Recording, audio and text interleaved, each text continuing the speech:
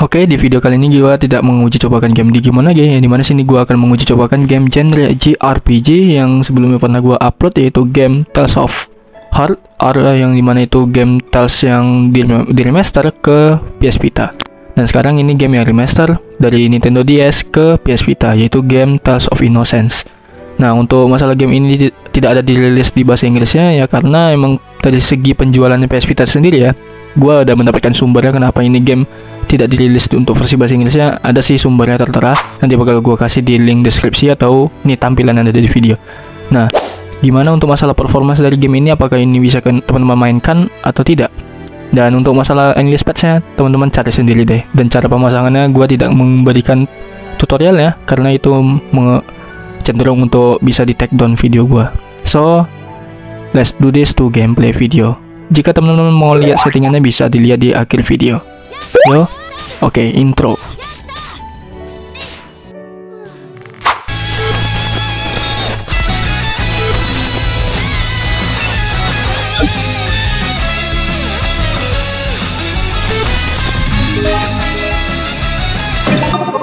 Oke, kita ke bagian gameplay dari Tales of Innocent or dan kita langsung klik aja ya untuk bagian ini. Oh ya, sebelum itu gua mau gatur dulu ini PS TV mode-nya. gua nyalakan soalnya. Oke, kita klik mulai guys. Nah, untuk masalah bahasa ya ya bodo amat dah untuk masalah bahasa ya. Ya, kira-kira oke masih Namco ada badan Namco. Oke, waduh copyright copyright ini nih teman-teman. Jangan sampai kedengaran. Oke, model tampilan berandanya sama Tales of Innocent yang di gua mainkan di Nintendo DS. Nah, mirip banget, tapi ini versi remasternya. Dah bahasa bahasanya bahasa Jepang, coy. Waduh. Oke, cutscene-nya teman-teman. Oke, ini ada ngebug ya untuk masalah cutscene-nya. Dari segi performance, oke, ada naik turun sekitar 25 fps atau 30 fps. Wow, oke, grafiknya bagus.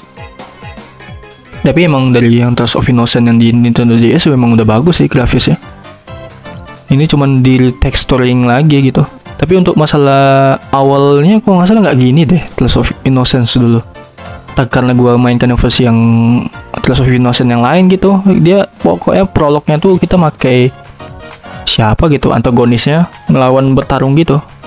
Ini prolognya tiba-tiba langsung isi ini teman-teman. Ini langsung opening nih pasti. Nah iya kan? Ini langsung opening nih. Oke ini copyright juga ini lagunya nih sepertinya. Emang Bandai Namco suka banget dengan lagu-lagu copyright-copyright beginian. Oke, si Ruka. By the way namanya Ruka ya. Oke. Nah, ini Mbak. Wih, oke, grafis. Oke, dari segi performance aman-aman secara selama ini. Oke. Dan untuk masalah latar latar dari tema dari Tales ini memang beda banget dari yang di Tales Tales yang lainnya. Ini mana sini Tales yang Innocence ini dengan memiliki latarnya model ala-ala apa ya? Gua lupa. Pada zaman abadnya ini revolusi industri gitu. Model pakaiannya, kerajaannya gitu. Jadi model-model gitu sih. Oke, kita keluar dan dengan ngeglitch yang kayak kurang ajar juga itu. Oke, tidak apa-apa, tapi masih tidak tidak menimbulkan force close gitu, teman-teman. Oke, so so so. Ya ya. Kita skip aja lah ya, karena gua nggak paham bahasanya guys. Oke, ini ada quick eventnya, maksudnya tadi ada kayak selectnya, mencetnya. Oke, petanya bagus, aman sih secara grafis dengan performanya bagus. Tidak ah wah serius ini tidak jauh apa ya? Kan karena gua udah pernah mainkan ini di Nintendo DS dengan emulator juga.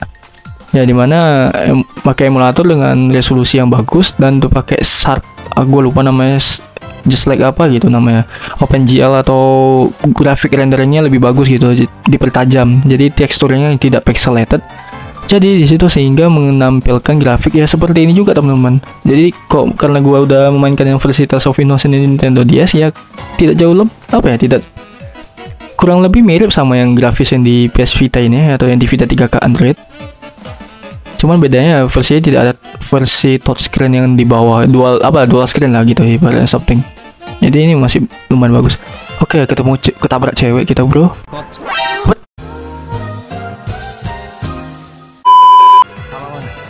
Eh. Cowok, coy. What? What? Eh. Eh. Eh. Cowok, coy. Walah, pecah kali ini, coy. Gua kira tadi cewek, coy. Wah, ngeprank ini game. Jujur ini nggak ada sih di Test of Innocent yang sebelumnya nggak ada ya. By the way untuk masalah Test of Innocent versi R ini, ini di mana ini remaster bukan sekedar remaster grafis dan segala macam gitu. Tapi katanya ada eksklusif konten juga di sini, ada penambahan konten lah istilahnya. Dan by the way tidak ada langsung seperti ini teman-teman modelnya. Waktu pas gua mainkan di Nintendo DS, itu cukup lama tuh untuk masalah kita bisa jalan-jalan explore kayak ini. Itu aja sih kayaknya menurut gua perbandingannya perbedaannya di sini eksklusif konten mirip-mirip dengan Persona 4 Golden lah gitu istilahnya remaster yang dari game ini jadi ada eksklusif apa ada karakter tambahan dan event-event yang ada penambahan juga. Jadi itu mengisi konten atau plot hole juga sih itu beberapa aja. Ya. yang dari yang penting jadi menjadi penting gitu. Eh, dari yang tidak penting menjadi penting maksud gua. Seperti itu. Dari performa bagus banget. Untuk masalah gameplay tadi teman-teman lihat sendiri kan? Untuk masalah grafik dan battle sistemnya bagus banget. Dan untuk masalah angle kameranya ada beberapa yang kayak fix angle kamera yang ke bawah atau ke atas top down gitu ya seperti itu. Seperti pada umumnya lah terasa yang yang gua review gua ulas lah untuk uji cobanya di bagian task of heart ya. Yang modelnya seperti itu. Oke ini oh, imagine kan oh iya. Artesnya sama ya untuk masalah controller sama. Modelnya ya bulat-bulat aja batas meshing sip. Oke keren sih untuk grafik. Teman-teman bisa cari sendiri untuk masalah English version dan cara pemasangannya. Gue tidak memberikan tutorialnya ya silahkan cari sendiri aja. Dan by the way ini benar-benar gue simpulkan untuk game ini worth it banget teman-teman mainkan di HP teman-teman dengan chipset yang cukup rendah gitu. Sekitar 600 bisa atau 450 lah teman-teman. Tapi dengan syarat RAM-nya harus 4 GB agar tidak terjadi keseringan atau men, apa ya menjadikan kecenderungan untuk force close terus menerus gitu dari in game ya oke ini skip aja. Oke seperti itu sih untuk masalah ini. Oke ini cutscene game. Ah itu dia yang karakternya teman-teman. Karakter itu yang gue pakai waktu itu antagonisnya. Soalnya di Tales of Innocent yang Nintendo DS tuh lo prolognya kayak gitu dulu gitu. Oke ini dia. Gue nggak tahu namanya siapa by the way gue lupa. Dan apalagi di Nintendo DS tuh juga versinya bahasa Jepang. Nggak ada versi, versi bahasa Inggris. Karena dia katanya pernah ya dilihat di sumbernya itu dia mau berusaha melakukan upaya ditranslasikan ke bahasa Inggris tapi tidak kesampaian gitu. Yang masuk akal sih. Apalagi ini game underrated banget. Sekelas Tales yang dengan saingannya Final Fantasy gitu teman-teman. Ya menurut gue emang wajar aja sih kalau memang ini game tidak ada translasi bahasa Inggris ya. Karena peminat peminat dari game ini sendiri pun sedikit gitu ya sangat disayangkan aja gini game underrated yang cukup bagus untuk dimainkan sebagai alternatif game genre JRPG oke dari segi sound design bagus tapi nggak sebagus yang di Tales of Heart ya gue bilangnya tapi bukannya kurang bagus karena segi ngebug ya gitu. Dari sound designnya tidak tapi ini emang bagus terdengar sangat jelas untuk masalah sound designnya. Dari background musiknya jelas banget suaranya tidak ada mengalami bug sama sekali tapi menurut gue ya untuk penilaian gue secara overall untuk masalah lagunya instrumennya yang gue lebih suka di of Heart sih jujur lah Oke. Fu, tadi gua taunya huruf K hiragana fu itu aja. Ano sama itu, ano nah. Oke, Moses apa tadi namanya? Dah bodo amat lah. Oke. Sip, kita temuin teman kedua teman kita ini ya.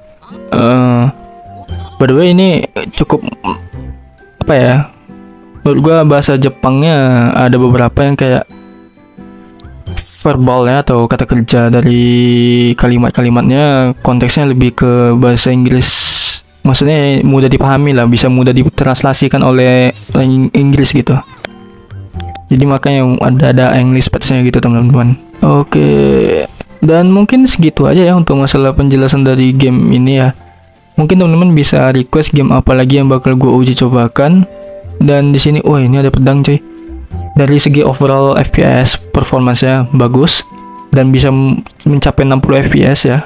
Atau 30 fps lah mentok-mentok gitu teman-teman dan masalah sound design udah bagus tidak ada mengalami bug sama sekali. Dan untuk masalah glitchnya tadi cuman beberapa tempat yang memiliki glitch seperti itu. Mungkin gua tidak tahu pasti apakah ada beberapa tempat lagi yang bakal mengalami glitch yang seperti itu juga atau lebih parahnya lagi. Tapi masih bisa dimainkan selama 20 menitan aja teman-teman. Atau nanti jika mainkan terlalu lama bakal cenderung first close jadi gue sarankan ini game tiap saat harus ada tempat save gitu jadi teman-teman tidak terlalu kesal untuk mainkan game ini kalau misalkan first close jadi bisa ngelot lagi save data ya oke mungkin segitu aja ya untuk masalah uji coba dari game ini ya mudah-mudahan teman-teman bisa uji cobakan game ini dengan playable banget gitu oke komen di kolom komentar game apa lagi yang bakal gue uji cobakan. I see you guys in the next videos. Bye bye guys. Thanks for watching.